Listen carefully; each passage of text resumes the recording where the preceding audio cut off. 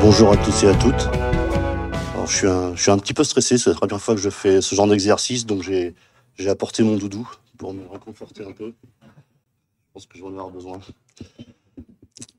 Alors, euh, donc aujourd'hui, j'ai souhaité vous parler des fonctionnalités de sécurité dans Postgre, euh, de faire un tour d'horizon de ces fonctionnalités et puis de, de vous faire part de, conseils, de remarques qui sont euh, liés à, mon expérience, à ce que j'ai vu chez les clients euh, et ce que j'ai vu de mal en particulier.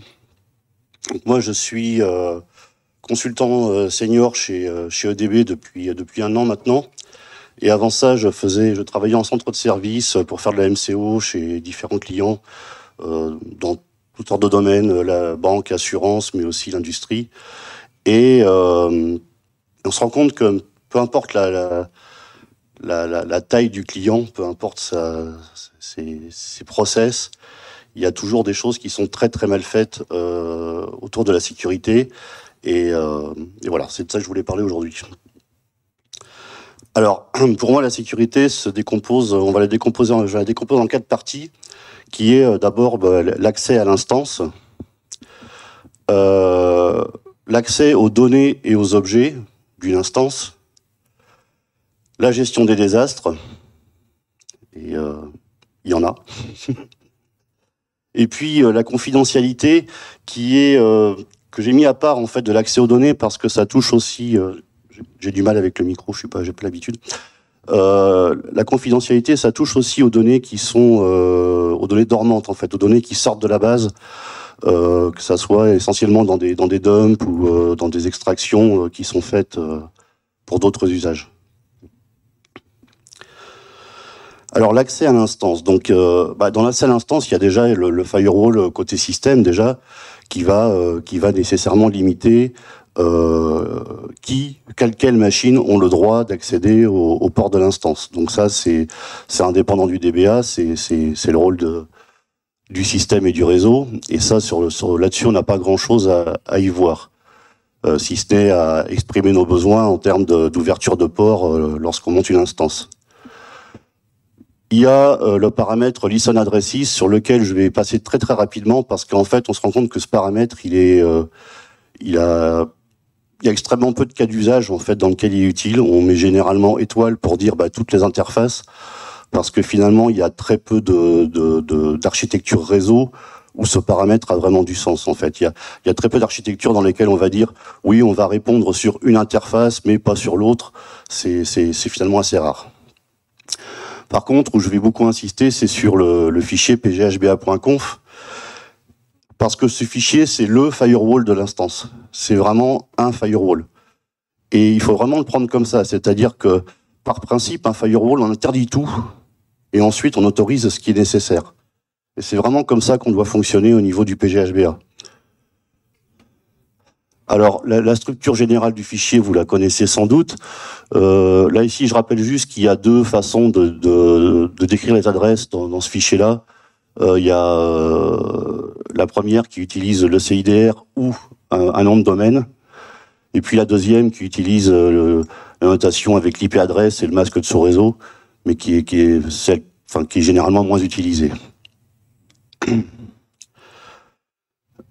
Alors, euh, donc on a, on commence par les types de d'hôtes en fait qui sont euh, qui sont possibles, qu'il est possible d'utiliser dans, ce fichier. Alors il y a euh, ici j'ai noté uniquement la partie SSL, j'ai pas parlé de la partie GSS encryption qui est, euh, qui est similaire mais qui, qui, est nettement moins utilisé. Euh, mais pour insister sur un, sur un point euh, important, euh, quand on utilise, quand on décide d'utiliser SSL, il faut déjà équiper le serveur d'un certificat.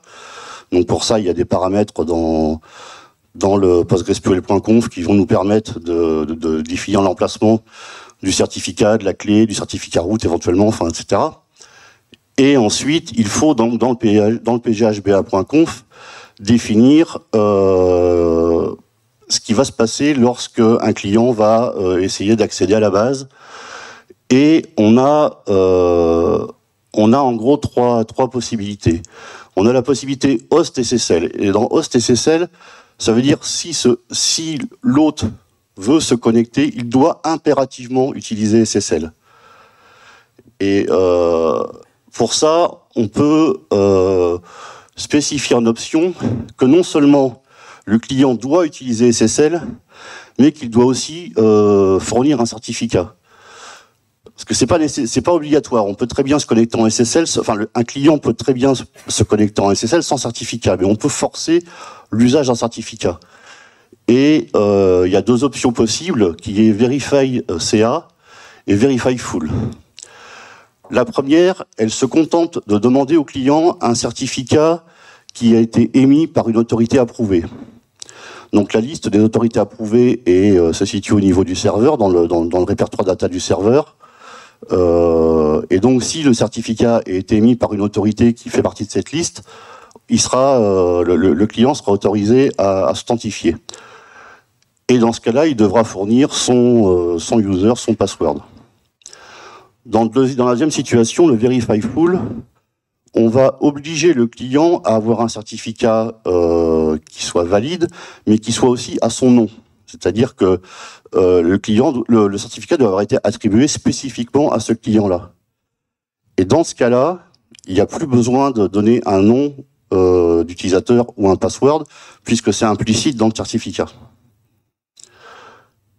Post non SSL, concrètement, concrètement, là, ça veut dire qu'on empêche de s'authentifier en SSL puisque ça s'adresse qu'aux autres qui n'utiliseront pas SSL.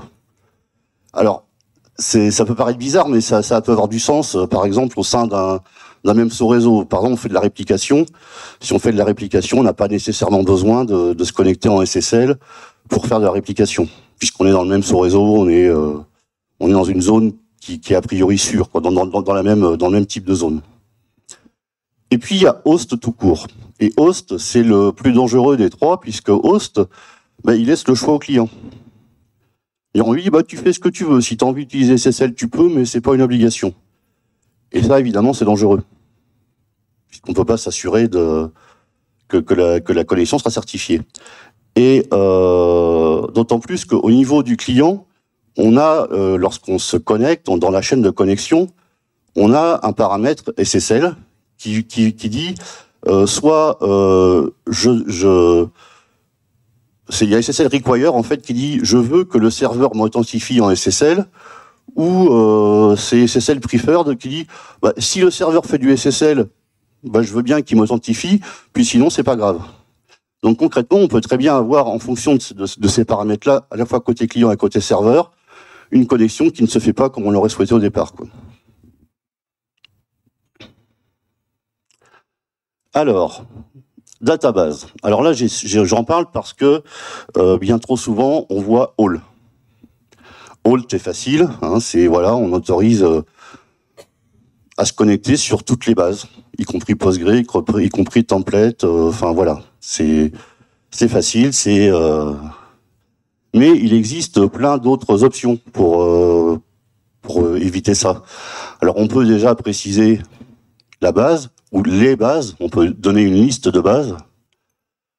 Alors, soit explicitement dans le pghba.conf, soit en utilisant un fichier. Euh, par exemple, là, l'arrobas listedb, ça fait référence à un fichier qui s'appelle listedb, qui se situe dans le répertoire data de Postgres et qui donne une liste de bases. Euh, on peut utiliser aussi euh, same-user. Same-user, ça veut dire bah, le user qui se connecte est autorisé à se connecter à la base qui porte son nom, dont il est le honneur a priori, si logiquement. Et euh, same role, c'est presque la même chose, sauf que là on utilise, on utilise le rôle, sachant qu'un user euh, qui, euh, qui appartient potentiellement à plusieurs rôles peut faire un set rôle dans sa session, et donc euh, il peut euh, potentiellement, selon le rôle qu'il s'est attribué, se connecter à une base différente en fonction de, de la session qui, euh, de, de, ce qui a défini dans sa session. Et puis, elle a un cas particulier qui est la database réplication, qui utilise, enfin, qui n'est pas une database à proprement parler, mais qui est un mot-clé qui permet de dire, ben, on se connecte uniquement pour faire de la réplication.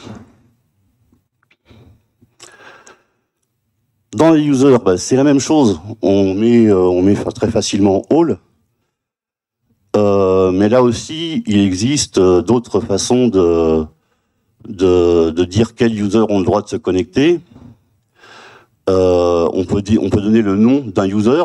Alors typiquement, si on a une application qui va se connecter à la base, euh, elle va se connecter avec un user bien défini, qui est le user applicatif. Bah, on va préciser ici le nom du user applicatif. Pourquoi mettre all Ça, ça sert à rien, c'est euh, contre-productif. Euh, on peut avoir une liste de users de la même façon qu'on peut avoir une liste de base. On peut très bien avoir un fichier qui contient une liste de users. Et puis, on peut avoir euh, plus, plus un rôle. Alors, plus un rôle, ça veut dire concrètement tous les users qui font partie de ce rôle-là vont être autorisés à se connecter. Puis qu'ils utilisent ce rôle-là au moment de la connexion ou pas, en fait. C'est-à-dire que s'ils font partie de ce rôle, si ce rôle leur a été attribué, ils vont pouvoir se connecter.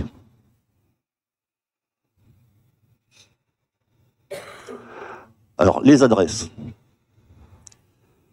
Donc, moi, je pense que c'est assez explicite. Hein, euh, parce que, bon, évidemment, la, ligne complète euh, host, euh, all, all, 000, euh, ben, voilà, hein, on la trouve très fréquemment. Donc, non, 000, c'est non. C'est non. C'est, voilà, c'est par principe. C'est, euh, sinon, c'est, ça sert à rien d'avoir un, un firewall, quoi. Euh, définir un, un sous-réseau, c'est déjà nettement mieux. Euh, définir un sous-réseau, ça peut être nécessaire parfois parce que euh, les utilisateurs qui vont se connecter sont des utilisateurs euh, humains qui vont qui vont effectivement travailler sur la base et ils seront sur des postes individuels et donc ils font partie d'un sous-réseau et on va pouvoir définir ce sous-réseau comme comme source de connexion. Et puis évidemment, bah, l'idéal, c'est de pouvoir donner l'adresse euh, spécifique d'une machine, ce qui va permettre de, de restreindre encore plus euh, les possibilités d'accès. Les méthodes. Trust, c'est pas bien. Password, c'est à peine mieux. Hein Un password qui circule en clair sur le réseau, c'est pas bien. Euh, MD5, je l'ai mis en, jaune parce que MD5, aujourd'hui, on considère que c'est obsolète. Euh, donc, euh, c'est le moindre mal, mais c'est obsolète. Il vaut mieux utiliser Scrum pour, pour des raisons de sécurité. Alors, à ce sujet, il faut savoir que passer de MD5 à Scrum, c'est pas si évident que ça. Euh, on ne peut pas simplement, parce que alors en fait, ce paramètre, on le trouve aussi dans le PostgreSQL.conf, dans le, euh, c'est un paramètre qui s'appelle password encryption, si je me souviens bien, qui définit le mode d'encryption des passwords. Et on peut pas simplement dire, euh, on avait une, on avait une base qui était en MD5 et on va changer ce paramètre, le mettre en SH 256 et tout va bien se passer. Parce que le problème, c'est qu'à ce moment-là, on a des utilisateurs qui existent déjà en base, qui ont déjà un password, mais ils n'ont pas de d'encryption et Sacha de ce password-là. Ils ont juste un password encrypté en MD5. Et donc, si on se contente de changer le paramètre de la base et qu'un user ancien essaie de se connecter, bah, la base va répondre, bah, j'ai pas de, j'ai pas d'encryption de, SH 256 pour euh, s'identifier, donc je ne peux pas le faire. Donc, si on veut changer comme ça une, une base de, de, de méthode d'encryption, il faut euh, recréer les mots de passe des users.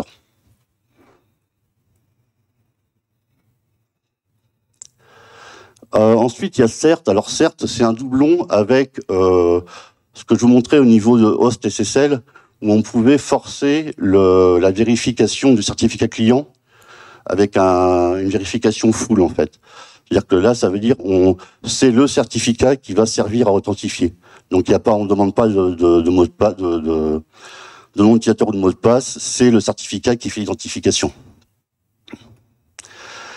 Et puis ensuite, on a plein de méthodes alternatives comme euh, LDAP, Radius, BSD, euh, PAM, etc. Mais il faut savoir que c'est quand même relativement restreint, c'est-à-dire qu'on n'est pas on n'a pas la possibilité de travailler avec des groupes LDAP ou des choses comme ça pour définir des droits. Euh, c'est vraiment juste, on demande à LDAP, à Radius, à BSD, on leur demande de, vérifier que le couple euh, nom d'utilisateur mot de passe est valide. Et c'est tout.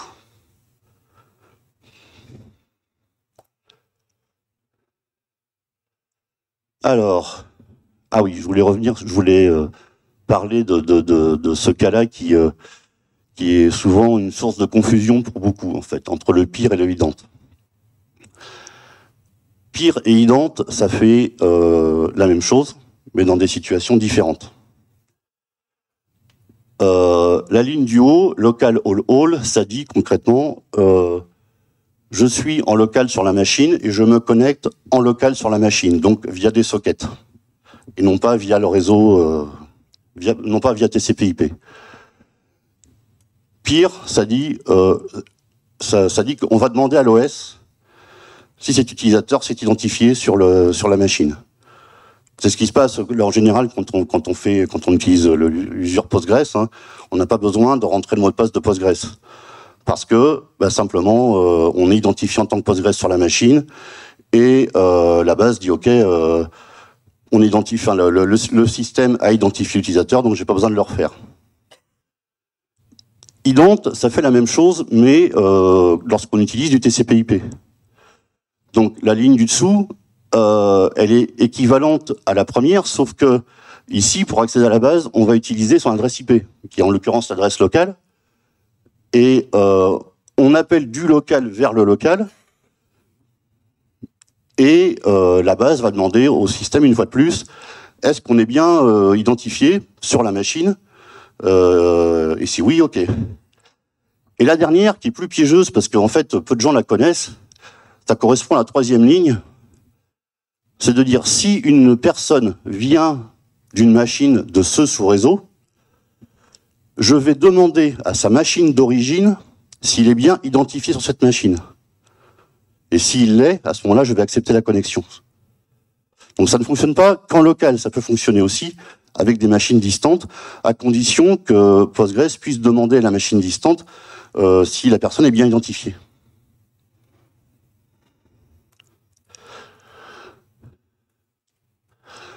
Voilà pour cette première partie. Alors ensuite, l'accès aux données et aux objets. Alors, les ACL, je ne vais pas trop revenir dessus parce que tout le monde connaît ça déjà. Euh, hein, le grand trivoc où on peut effectivement donc donner euh, la capacité euh, offrir la capacité à créer, supprimer, altérer des objets de la base, euh, des tables, des triggers, etc. Enfin on a la capacité à lire, créer, modifier, supprimer des données d'une table hein, les, les, grandes euh, select, insert, etc. Et la capacité à opérer certaines actions, euh, alors je parle du login par exemple, parce qu'on peut très bien créer un user qui n'a pas le droit de se loguer, ça peut avoir du sens.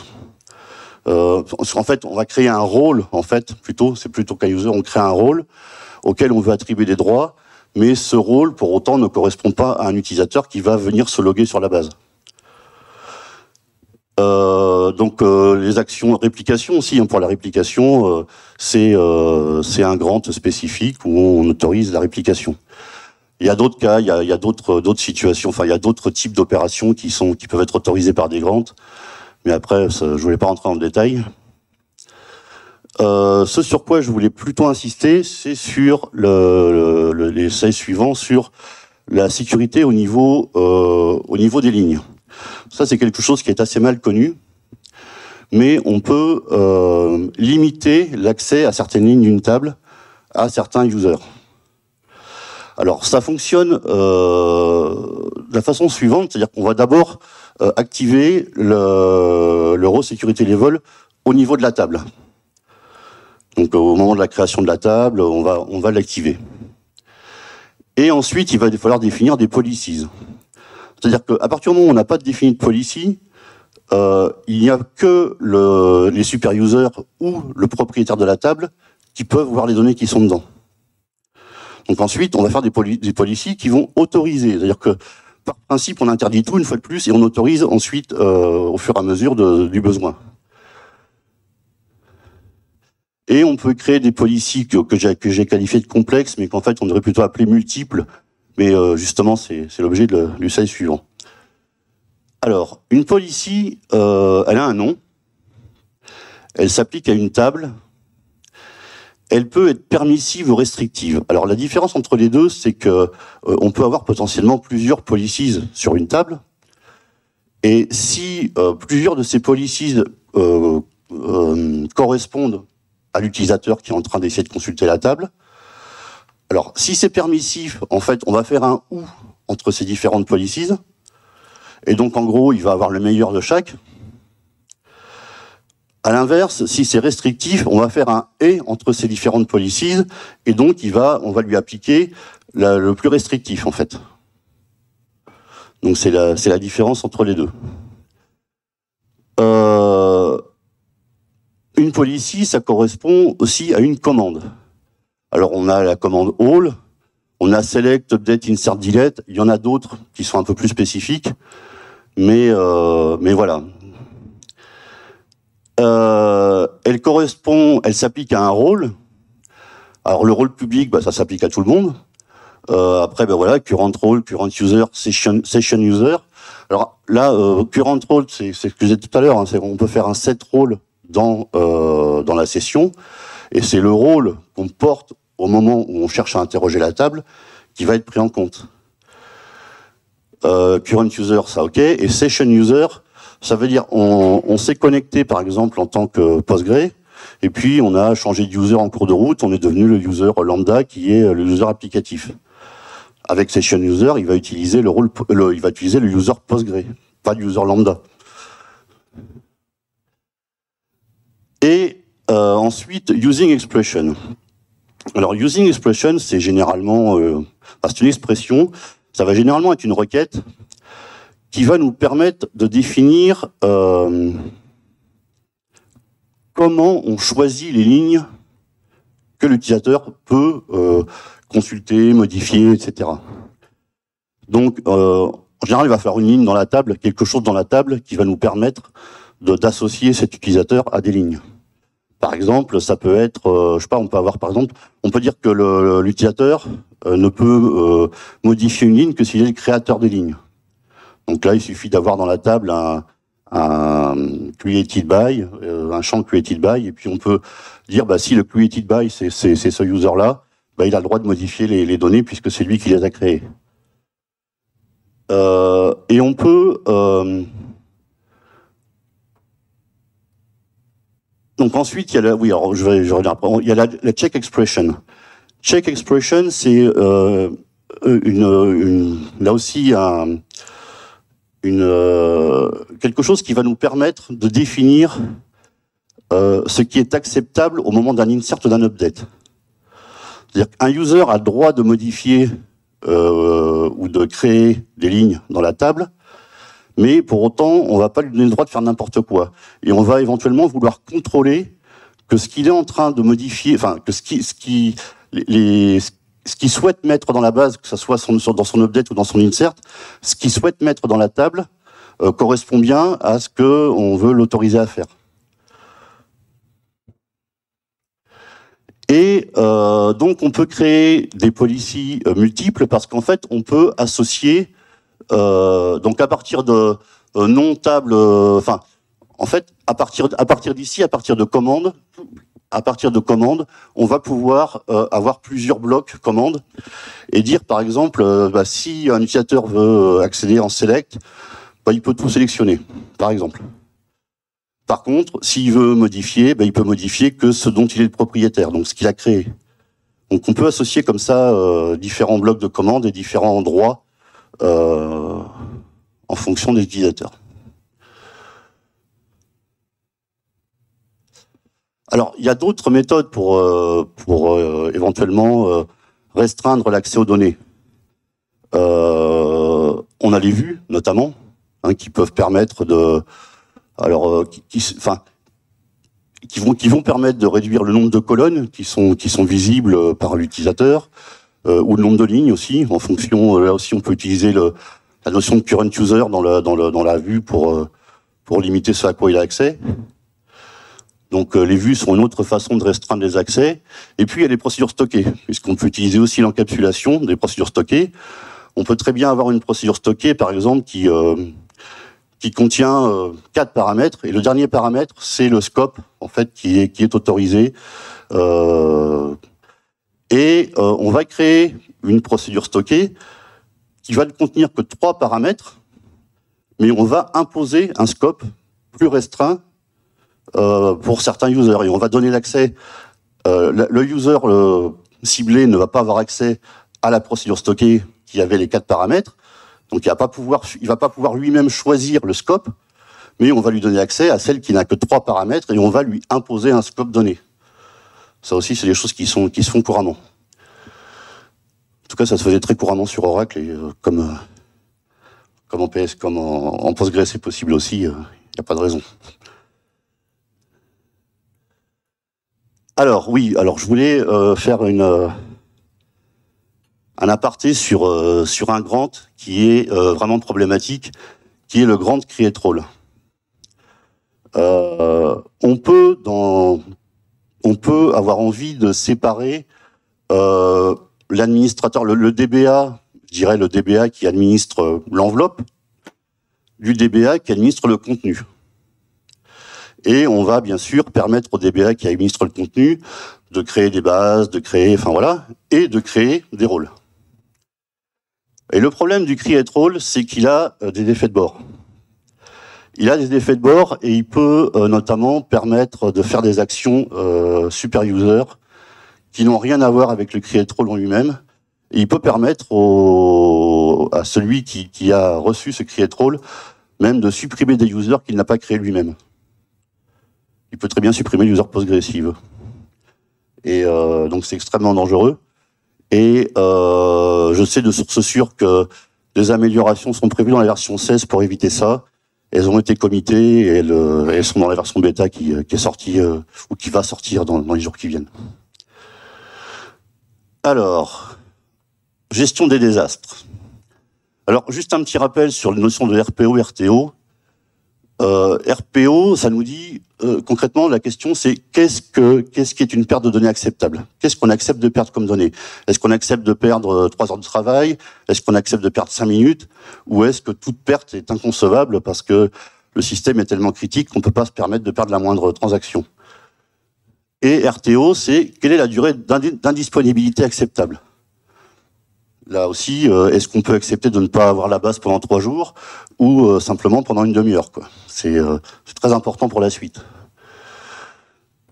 Alors, je commençais par parler de la réplication. Alors la réplication, elle a beaucoup d'avantages. Elle permet de garantir un RPO et un RTO relativement faibles. notamment si on fait du failover automatique, on peut s'attendre à avoir un RTO qui soit de allez, 2-3 euh, minutes, quoi, dans le pire des cas. Euh, et en fonction du, mode qu'on choisit, synchrone ou asynchrone, de la même façon, on va avoir un RPO qui va pouvoir être potentiellement extrêmement faible. Si on est sur du synchrone, alors il y a deux modes synchrone euh, un peu un peu différents, un qui est plus sûr que l'autre, mais si on prend le mode le plus sûr, le RPO il est potentiellement de zéro quoi. Mais la réplication, ça ne protège pas contre tout. Ça ne protège pas notamment euh, bah, des erreurs humaines. Euh, oups, j'ai fait un drop de la table. Euh, bah, ça, si on fait un drop, il va, être répliqué aussi. Donc ça ne protège pas de ce genre de choses. Donc c'est bien, mais c'est pas suffisant. Il faut faire des sauvegardes. Et alors là, je le mets en gros parce que j'ai une expérience récente sur le sujet un snapshot de VM n'est pas une sauvegarde de base de données. Jamais. Ça peut marcher. Il y a des gens qui gagnent l'euro million. Ça peut marcher. Hein? Et voilà, mais il y a aussi beaucoup de gens qui perdent. Et par exemple, il y a euh, le week-end de l'ascension, j'ai un client qui a perdu. Et j'ai passé trois jours, les trois jours du week-end, à euh, récupérer ses données. Et euh, voilà, non non, c'est ça marche pas. Faut pas. Alors faut pas parce qu'en fait on ne peut pas s'assurer que la base est dans un état cohérent, simplement. Et donc elle peut très bien ne pas démarrer. Ça, euh, voilà. Alors, euh, avant de parler de sauvegarde à proprement parler, je voulais parler de, de, la structure des répertoires. Et il y a quelque chose, là aussi, il y a des choses qui sont assez aberrantes. Alors déjà, le fait que les PG Wall soient par défaut dans le répertoire data, ça me pose énormément de problèmes.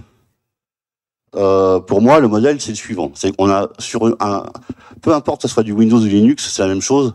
On doit avoir un volume système où est installé Postgre, un volume de données, notre PG data, et un volume que j'appelle de récupération, et ceux qui sont familiers avec Oracle, euh, bah, ils verront que c'est l'équivalent de la FRA hein, d'Oracle, c'est-à-dire c'est tout ce qui est nécessaire pour reconstruire la base en cas de crash. Et tout ce qui est nécessaire, bah, ça va être euh, les backups, les walls, les archives de wall, les fichiers de configuration, qu'on oublie souvent, et puis éventuellement des dumps, mais les dumps c'est un peu à part, puisqu'en fait, euh, voilà, c'est... Euh, mais voilà, voilà tout ce qu'il nous faut pour reconstruire une base, et ça, ça doit être dans un volume à part, et c'est ça qui doit être sauvegardé. On ne sauvegarde pas la base, on sauvegarde ça, ce, répertoire, ça, ce volume-là. Alors les types de sauvegarde, bah, on est tous familiers avec pgdump, pgdump all, la sauvegarde logique. Pour moi, c'est pas adapté à des, à des, à des vraiment à des sauvegardes. Pour moi, c'est plus pour du, pour faciliter le portage des données de la base ou euh, pour euh, quand on fait des migrations de, de, des upgrades de versions majeures, là on va faire effectivement un, un dump et un restore parce que potentiellement euh, on veut s'assurer que les données sont bien, enfin qu'il n'y ait pas de, de, de, comment dire de, défait de bord du fait du passage à une nouvelle version, on va s'assurer qu'elles sont bien insérées dans les règles de la nouvelle version. Donc pour moi, un pgdump, c'est bien, mais c'est pas une solution de sauvegarde. Pour moi, une vraie sauvegarde, c'est une sauvegarde physique. Et euh, pour ça, il existe différents outils. Alors, il y a le PGBS Backup qui est disponible par, par défaut avec, euh, avec Postgre. On peut citer PG Backrest, euh, Barman, qui sont sans doute les plus utilisés. Euh, il y en a d'autres, hein, il y en a d'autres. Mais euh, voilà, l'objectif, c'est de faire une sauvegarde physique. Et avec cette sauvegarde physique, avec les walls archivés et avec les walls online, on va être capable de reconstruire la base jusqu'à un instant T. Possiblement juste avant que l'incident se produise. Donc on va faire un point in time recovery. Si le drop, euh, notre créateur nous, dit j'ai droppé à 12h05, ben on va essayer de revenir jusqu'à 12h03, 12h04 au plus près pour, euh, pour s'assurer qu'on perd le moins de, de données possible. Il y a des lois sur les sauvegardes on vérifie que la sauvegarde permet la restauration. Ça paraît bête dit comme ça, hein. mais euh, j'ai vu une base qui était sauvegardée, c'était des dumps qui étaient faits, des dumps par schéma. Bon, pourquoi pas Enfin, c'était un choix.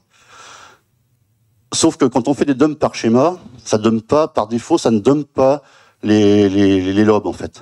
Parce que les lobes, ils sont dans le schéma public. Et la personne qui avait mis ça en place n'était pas surprise que la base fasse 10 gigas et que la sauvegarde fasse 200 mégas.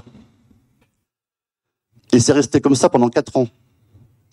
Donc pendant quatre ans, la base était sauvegardée, mais n'était pas. Donc on vérifie qu'on est capable de restaurer sa base avec sa sauvegarde. C'est le BABA. On monitore les sauvegardes. Une sauvegarde, ça peut marcher pendant un certain temps et puis s'arrêter parce que le volume est plein, parce que, enfin, il peut y avoir plusieurs raisons pour ça. Mais on monitore les sauvegardes et on les externalise. Les sauvegardes ne doivent pas rester sur le serveur. Hein? Elles ne doivent pas rester normalement dans le même décès aussi. Mais bon, après, parfois c'est plus compliqué à gérer. Mais en tout cas, enfin voilà, on a vu euh, VA Strasbourg, hein, il y a des gens qui ont pleuré très fort. Hein. C'est voilà, ils avaient des sauvegardes pourtant, hein, mais. Euh. Alors, la confidentialité des données. Je voulais, euh, on, parle beaucoup de, RGPD à juste titre parce que ça, il y a des contraintes légales qui sont très fortes, notamment sur la circulation des données dans l'entreprise. Parce que les données critiques, ça existe depuis, toujours, euh, que ce soit des données qui sont extrêmement sensibles pour l'entreprise ou des données confidentielles, euh, notamment par exemple dans le domaine de la santé, il y a toujours eu ce problème des données confidentielles, etc. Mais le RGPD impose de, nouvelles contraintes sur la circulation des données au sein même de l'entreprise. C'est-à-dire que lorsqu'on définit euh, le, les données qui sont sensibles, qui, ressortent du, RGPD, on doit dire qui a le droit de consulter ces données Qui a le droit de les manipuler Dans l'entreprise même? Et donc, ça crée des nouvelles contraintes. Alors, euh, pour ça, je voulais vous parler de deux extensions. Euh, il y a PG Crypto. Alors, deux extensions qui ont vraiment de, de, des usages très différents et des fonctionnements très différents. Il y a PG Crypto qui permet de gérer le masquage des données au niveau applicatif. En fait, elle va euh, encrypter les données. Donc, elle fournit en fait un ensemble de fonctions qui vont permettre d'encrypter et de décrypter les données, mais au niveau applicatif. Donc c'est vraiment l'applicatif en lui-même qui va dire ben, cette colonne-là, tu me l'encryptes et euh, ben, au, retour, tu me la décryptes.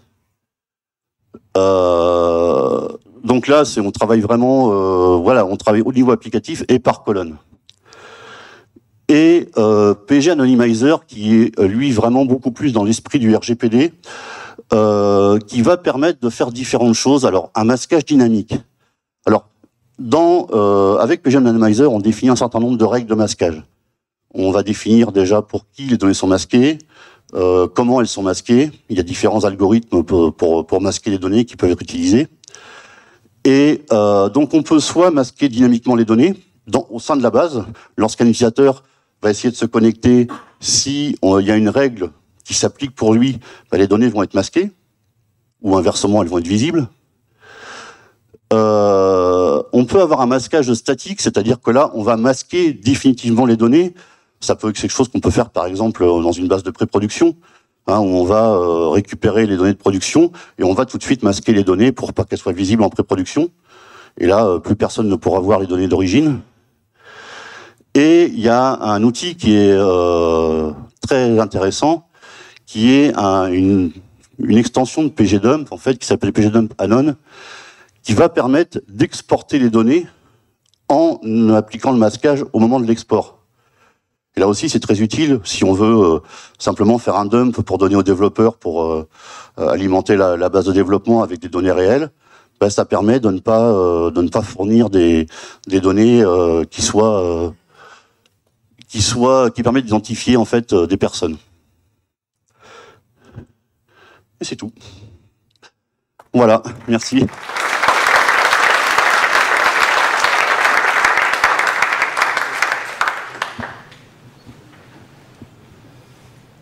On a le temps de prendre quelques questions avant la pause.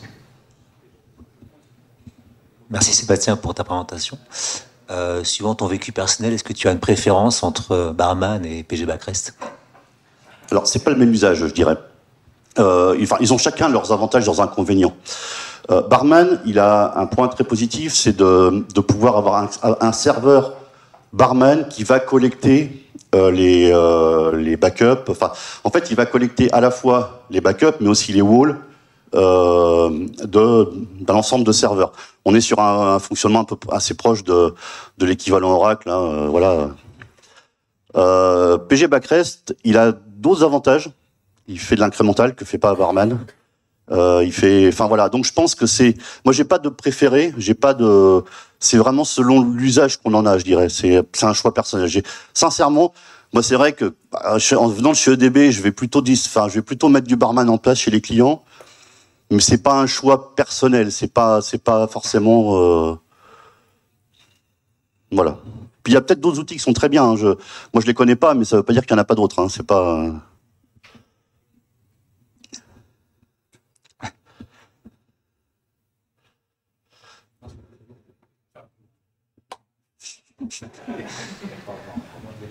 Euh, merci beaucoup pour, euh, pour ce tour d'horizon euh, super intéressant. J'ai une petite question qui est peut-être vraiment néophyte et c'est pour ça que vous n'avez pas plus explicité que ça. Du coup, je suis, je suis un petit peu désolé si c'est le cas. C'est sur la slide où justement vous parlez de PG Backrest et des PG Dump et tout. Pour moi, c'est pas clair en fait la différence entre ce que vous appelez une sauvegarde logique et une sauvegarde physique. Même si très concrètement, je vois la différence entre ce que fait PG Dump et PG Backrest. Mais ce que vous appelez logique et physique pour moi Alors, euh, une sauvegarde logique, c'est une, une, sauvegarde qui va permettre de reconstruire la base. C'est-à-dire qu'en fait, dans, dans, une sauvegarde logique, on va retrouver toutes les instructions SQL qui vont permettre de reconstruire l'instance, en fait. Donc, reconstruire la user, les bases, les tables, etc., etc., tous les objets. Et euh, aussi tous les ordres de réindexation. C'est-à-dire que il va falloir réindexer. Lorsqu'on fait, lorsqu'on, lorsqu'on restaure un pgdump, il va falloir réindexer. Et à propos, au niveau du RTO, ça va considérablement alourdir en fait la restauration. Une sauvegarde physique, c'est vraiment une sauvegarde des fichiers de la base. Là, en l'occurrence, euh, ce qu'on fait sur sur euh, sur Postgre, c'est vraiment on prend le répertoire et on le recopie. Et euh, donc euh, ça ça ça n'a pas que des avantages, mais ça a notamment l'avantage d'être beaucoup plus rapide à restaurer et surtout de mettre la base de, de enfin de retrouver la base dans un état sur lequel on peut appliquer les walls. Ce qui n'est pas le cas avec pgdump en fait. Avec pgdump, on peut plus appliquer les walls après. Donc si on a fait notre dump à minuit la veille, bah, on récupère nos données à minuit la veille. Alors qu'avec une sauvegarde physique, comme on retrouve les fichiers dans l'état où ils étaient, on peut réappliquer les walls parce que les walls s'appliquent physiquement sur les fichiers, en fait. Donc on va être capable de, réappliquer euh, l'ensemble des transactions qui ont été euh, jouées euh, depuis le dernier, dernier backup. Merci Sébastien.